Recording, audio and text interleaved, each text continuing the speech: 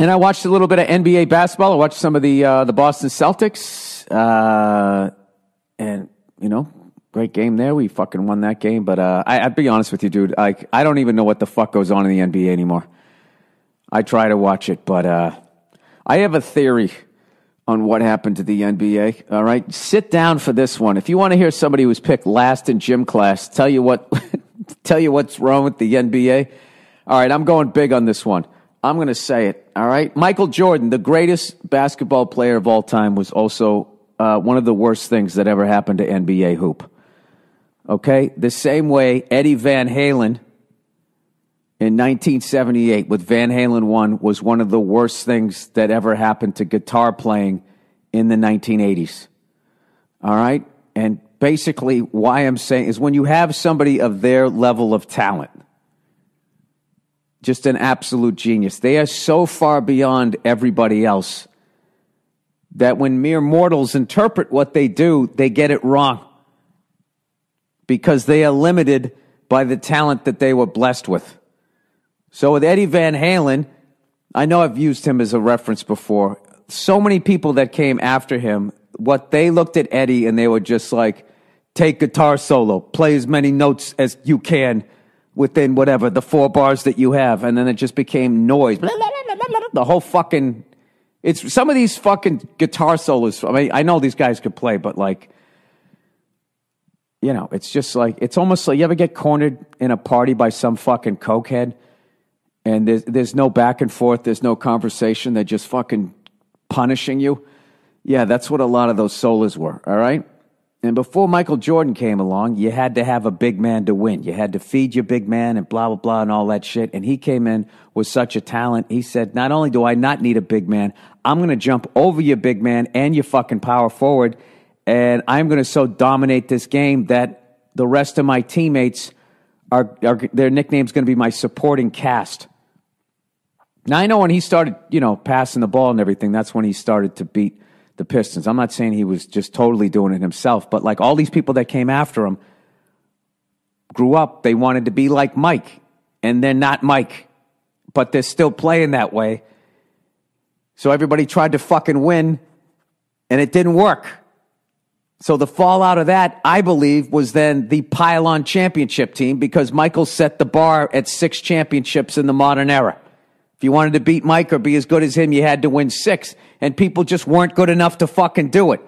So they just had the pile-on teams. And it started with Kobe and Shaq with the Lakers. And then you had the big three in Boston and then the Miami fucking Heat. And now you got the, uh, the Golden State Warriors.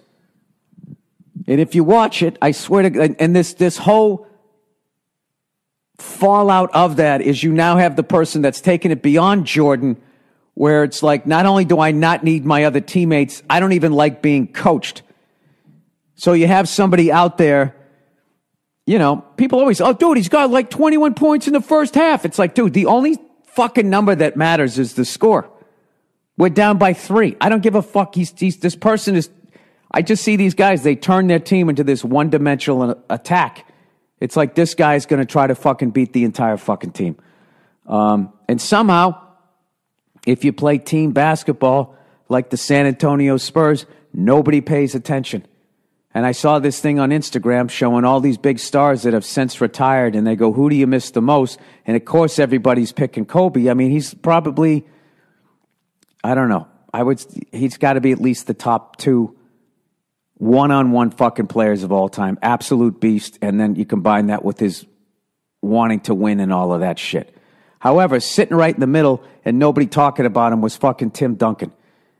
And I might just be an old fucking asshole here, but I, what I liked about Tim Duncan is Tim Duncan could win with anybody, where I felt like Kobe could win, but he needed everybody.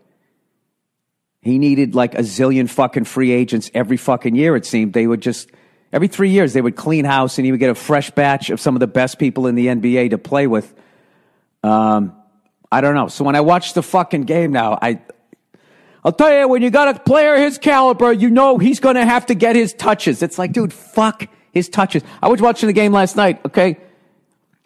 And, uh, what's his face? Reggie Miller. We go into the fourth quarter. I think we were up by like two points. He goes, you know, for the, you know, the rest of this game is going to be all Kyrie. Now, maybe he was saying passing the ball or whatever too, but I don't know. I just hear that all the time.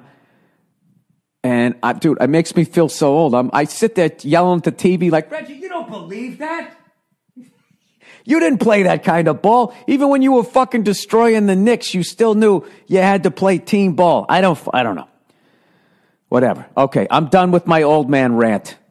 All right, but I think that that's that is basically, you know, like I said, I'm done and I'm still going to go here. I think that that's what's happened with basketball, and for an old guy like me, that's why I don't get it when I'm watching. I'm like, oh my god, they're down by ten, and that guy came down the court, didn't pass it, and just launched a three and threw up a fucking brick. They're going to call a timeout and put him on the bench, and they don't.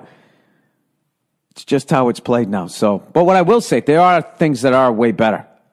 Okay, before I'm, I'm that fucking asshole you know, giving you the global warming speech about professional sports. Um, in no time in basketball have there ever been this many people over this, the height of six foot ten that can hit a fucking three pointer like a guard. I mean, it's it's fucking unbelievable. So there are whatever. There are there are better things. Um, I will tell you though, uh, NHL has changed a lot since I was a kid, and I actually I like. I mean, I miss the fights.